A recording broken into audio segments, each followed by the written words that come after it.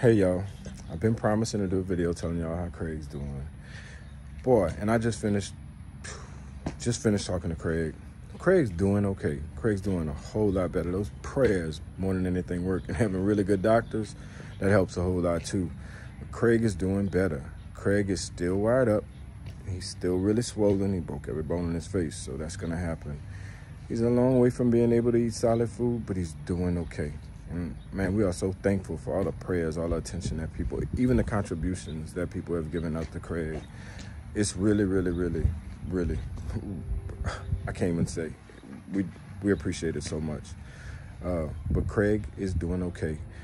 I asked him if he wanted to get on this video to do something, and he said he's not quite ready yet. So we're gonna allow Craig the time he needs to uh, to heal up and be a little bit more appealing to people than he feels he is right now.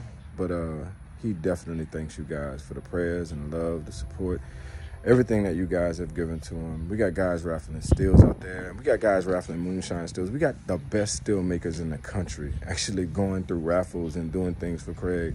I mean, that's just a testament to how people feel about this gentleman. I mean, some people might not like me, but they love Craig. It might be vice versa, but generally the world loves this guy and I know why they do because he's a real awesome little soul. Just the appreciation that he's showing for for everybody that's reaching out right now in prayers and thoughts and in contributions, whatever. I mean, just to see what he with the emotion that he exudes when he sees what's going on is is awesome. And I thank everybody. I I really do.